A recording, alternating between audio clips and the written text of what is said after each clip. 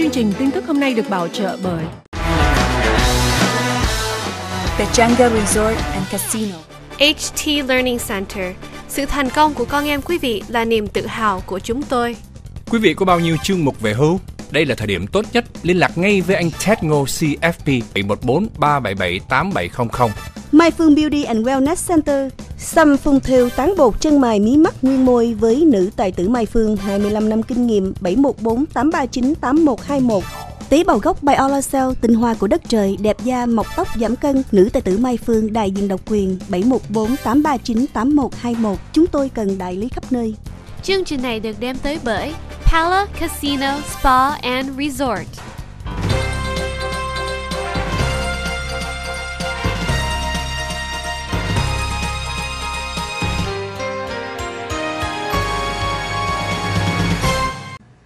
Xin chân thành cảm ơn quý vị vẫn đang quay lại với chương trình Thời sự Thế giới để chúng tôi có thể gửi đến quý vị những bản tin đáng chú ý trong ngày hôm nay.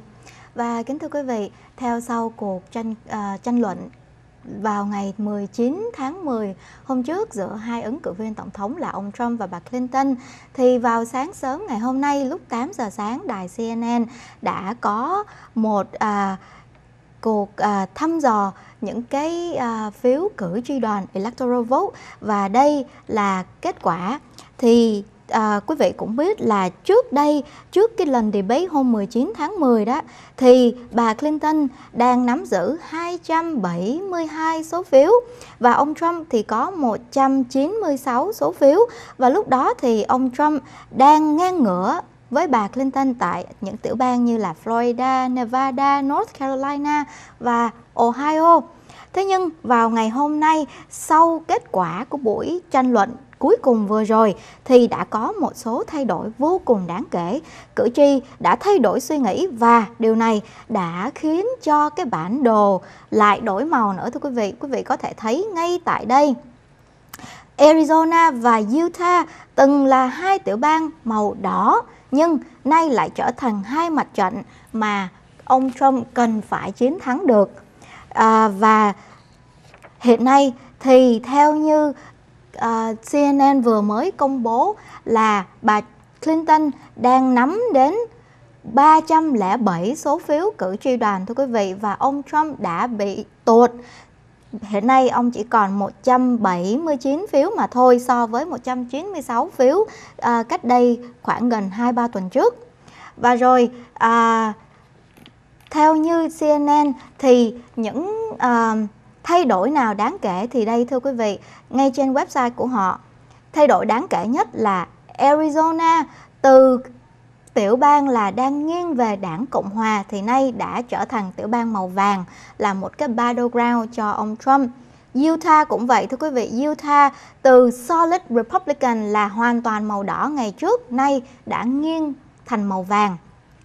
Và rồi Florida thì lúc trước trước cái lần debate là từ một tiểu bang hoàn toàn màu vàng battleground thì nay lại chuyển sang màu uh, light blue nghĩa là nghiêng sang đảng Dân Chủ và rồi Nevada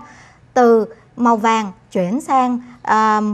màu uh, xanh cho đảng Dân Chủ nghiêng về đảng Dân Chủ thưa quý vị. Và rồi đây là uh, sơ đồ theo như CNN sáng nay 8 giờ sáng vừa công bố. Và rồi uh, số phiếu mà ông Trump hiện đang nắm được 179 phiếu mà thôi thưa quý vị và bà Clinton có đến 307 phiếu. Và rồi những cái tiểu bang mà battleground đó, toss đó thì là có tổng cộng 52 phiếu. Nhưng mà nếu như mà cho là ông Trump với 179 phiếu đó mà ông thắng luôn 52 cái phiếu này của những tiểu bang toss thì cộng lại ông vẫn không đủ phiếu vẫn không cao hơn số phiếu của bà Clinton được. Và rồi như vậy thì vào uh, theo như cái poll đó thì sáng sáng hôm nay CNN đưa ra cái poll như vậy thì có một vài chuyên gia họ đã đưa ra cái nhận định như thế này chuyên gia kinh tế thì nếu như mà bà Clinton thắng thì sẽ có những cái chính sách đáng chú ý sau đây nếu mà bà bước vào uh, tòa Bạch Ốc. Thứ nhất là cải cách về thuế cho các tập đoàn lớn. Bởi vì uh, mức thuế hiện nay cho các uh, đại công ty, các tập đoàn tại Hoa Kỳ là 35% và cả hai đảng Dân Chủ và Cộng Hòa thì họ cũng đều đồng ý mức thuế như vậy khá là cao so với những nước đang phát triển khác. Bởi vì những cái nước này họ đánh mức thuế chỉ từ 10 đến 20% mà thôi và sự cách biệt này quá là lớn cho nên là mỗi năm Hoa Kỳ mất đi khoảng chừng 2.000 tỷ tiền lợi nhuận từ các tập đoàn này thưa quý vị. Và thì nếu như mà các chuyên gia kinh tế họ nói rằng nếu như bà Clinton làm tổng thống đó thì à, từ trước đến nay trong suốt cái à, cuộc vận động tranh cử thì bà và đảng Dân Chủ luôn muốn đi theo cái đường hướng là đánh thuế vào những gia đình giàu có, những người nhà giàu mà cụ thể theo như bà Clinton là những gia đình có thu nhập trên 250.000 nhưng mà điều đó có thể khó có thể xảy ra là bởi vì mặc dù bà muốn như vậy nhưng mà à, thượng viện sẽ gồm có những uh, người của đảng Cộng hòa sẽ không để điều đó xảy ra. Thế nên cái điều mà bà có thể làm đó là giảm mức thuế xuống 15% dành cho những corporate lớn, những đại công ty lớn giúp đem về số tiền đã từng thất thoát cho nền kinh tế của Hoa Kỳ. Và cái điểm thứ hai, à, một cái cải cách thứ hai mà các chuyên gia dự đoán là bà có thể làm đó là nâng mức lương tối thiểu lên Hiện nay à, minimum wage của liên bang là 7 đồng 25 cent một giờ, trong khi bà Clinton nói là bà muốn nâng lên thành 12 đồng một giờ. Nhưng điều đó khó mà có thể thực hiện được khi mà từ 7 đồng 25 mà muốn nâng lên 12 đồng thì rất là khó. Nhưng nếu mà kinh tế vẫn giữ ở cái đà chắc chắn như hiện nay đó, các doanh nghiệp tiếp tục có lợi nhuận và việc làm tiếp tục có thì uh, các chuyên gia dự đoán là bà Clinton hoàn toàn có thể tăng minimum wage lên ở một con số tạm chấp nhận được là khoảng 9 đồng một giờ. Và rồi cái cải cách thứ à, cái à, chính sách thứ ba đó là cải cách về vấn đề di dân. Thì thưa quý vị từ cái lần debate hôm trước là chúng ta đã nghe nói bà Clinton bà không bà không muốn chia rẽ những gia đình người di dân hiện đang sinh sống ở Hoa Kỳ này. Trong số 11 triệu người, thì vào năm 2014 nước Quốc hội gần như đã thông qua một số đạo luật cải cách về vấn đề di dân, nhưng đã bị một số đảng viên của đảng à, của Cộng hòa ở Hạ viện chặn lại. Và nay, như đã hứa từ khi bắt đầu cuộc vận động tranh cử, thì bà Clinton, nếu như bà làm tổng thống, bà sẽ tìm cách hợp thức hóa giấy tờ cho khoảng 11 triệu người di dân không có giấy tờ đang sinh sống ở Hoa Kỳ. Và theo như các chuyên gia dự đoán, thì bà có thể sẽ thiết lập những cái con đường mới để cho những người di dân từ các đất nước khác có thể sang Hoa Kỳ bằng cách đóng góp cho nền kinh tế Hoa Kỳ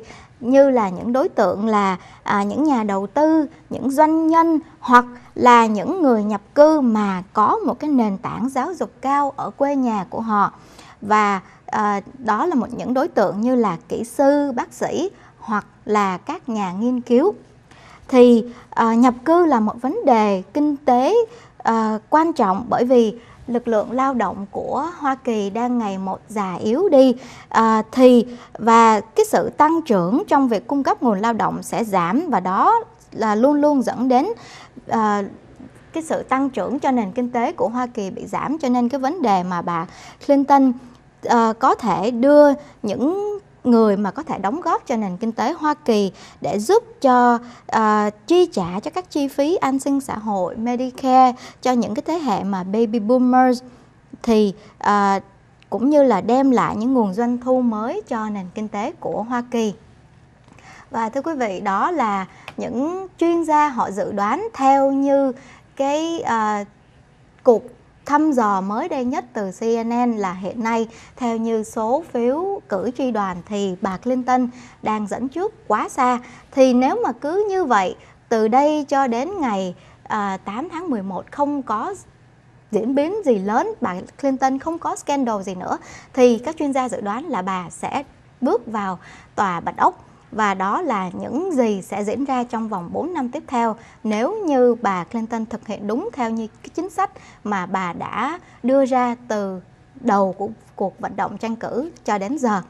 Vâng, xin cảm ơn quý vị đã theo dõi của uh, chương trình và xin kính chúc cho quý vị có một cuối tuần thật là vui vẻ bên gia đình. Hẹn gặp lại vào chương trình ngày thứ hai.